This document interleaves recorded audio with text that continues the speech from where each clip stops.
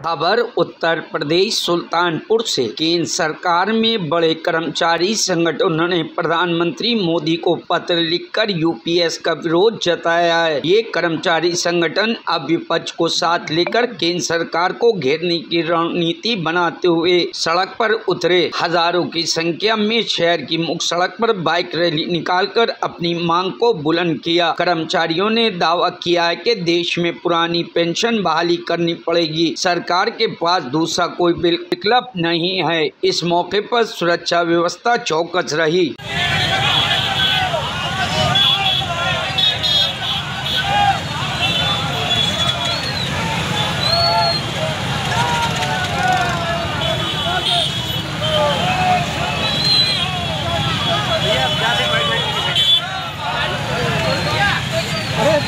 चल चल।